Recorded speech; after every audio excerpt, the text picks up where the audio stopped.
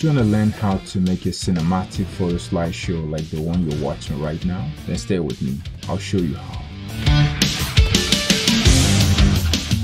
You're welcome to another video on this channel. Before we get started, if you're new here, consider subscribing by clicking the subscribe button for more awesome videos like this. Without further ado, let's get started, shall we? Well, in order to pull this off, we need images. I've imported my to my media. You can do the same by importing yours. So if you've done that, let's get started. Let's start by importing the images. You can highlight and import them at the same time, or you can drag them down to the timeline one after the other right click on the first image and go to crop and zoom or you can click on the icon right there and it will take you to crop and zoom. Let's change the ratio to 16 9 and then we can capture the area we want to capture and click ok do the same to all the other images one after the other Alright, we're done with cropping the images. Next, let's highlight all the images. Right click and copy. Move to the second track on the timeline. Click on it and right click and paste all the images there. Now we have our images on two tracks on the timeline. Double click on the first image and go to transform. Change the scale to 70 and click OK. Go to effects, search for border, drag and drop the border on the image, double click on it and go to setting and you can make some changes there. Let's change the distance to 4, the blur to 5 and let's click OK. Right click and copy effects, then highlight the other images and paste effects on those images and the same effect on the first one will apply to all the images.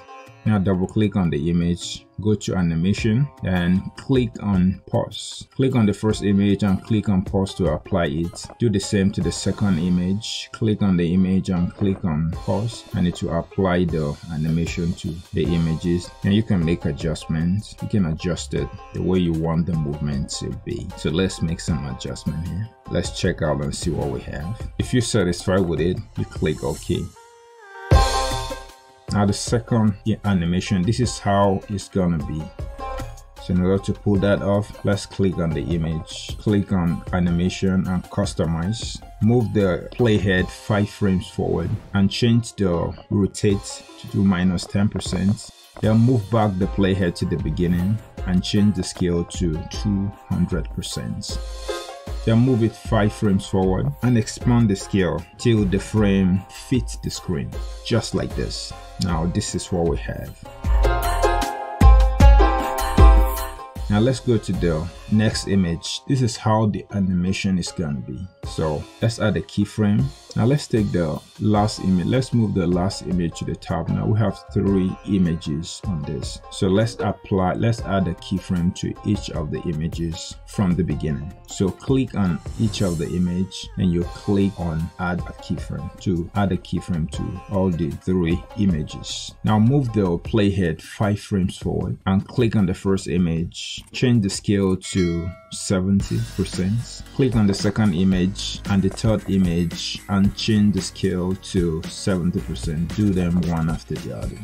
Move the playhead forward 5 frames and add a keyframe. Move it 5 frames forward again and go to position Y and change it to 250 or 300% and it will take the picture out of the frame just like this. Move the playhead to the last keyframe and click on the second image and add a keyframe. Likewise the third image, also click on it and add a keyframe.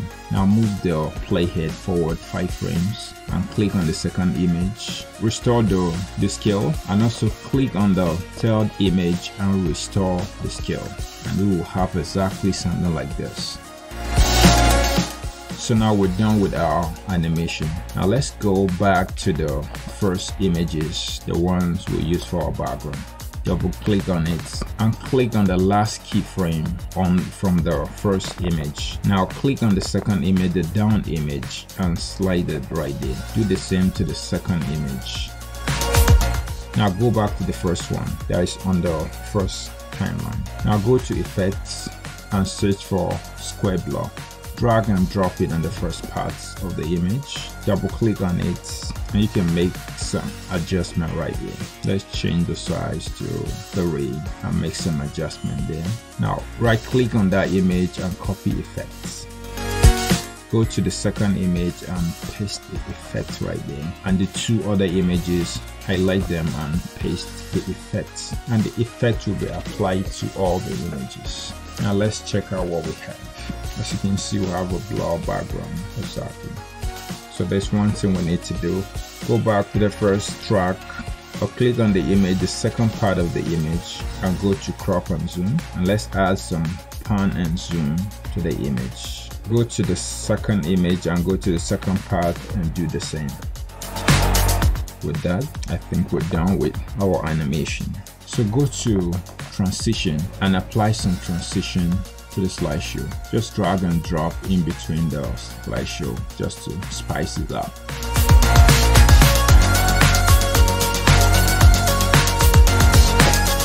I will have something like this